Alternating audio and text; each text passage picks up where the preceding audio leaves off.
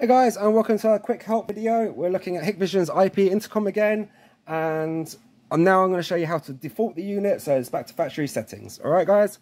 Now this will default the screen to factory settings but it won't default the door station. But however you should be able to set up the door station again using the wizard. Alright guys?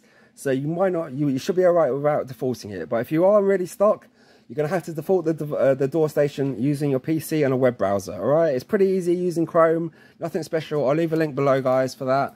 Uh, but right now, let me show you how to default our intercom screen. So just in case you need to start up again or you're having problems with it. Okay, so zoom in a little bit. Now for this, we go to settings. Then we go to the three lines at the bottom here. And then we click on configuration at the top. So we're popping your password. Go OK. And now at the bottom we've got a spanner, click on the spanner. And then we have two options, It's got restore default settings and restore all. Okay, so you think restore default settings might be, uh, it's going to do a full restore? No. Default settings, it's basically going to keep the IP addresses and things like that. It's just going to change a few of the, the settings that are done on the screen, you know, like maybe ringtones or something like that. But what you want to do is really do a restore all if you want to go back to the beginning and start again. So that's what we're going to do now. We're going to click on restore all.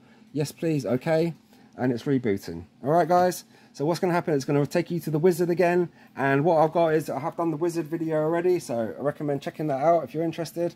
And hopefully you should be able to sort out your intercom from there. So thanks for watching. Another quick help video. We've got loads of other videos on this series. Uh, in the links below, we've got a playlist. So I recommend checking it out, guys. And uh, thanks for watching. And hopefully catch you on another one. Cheers. Bye.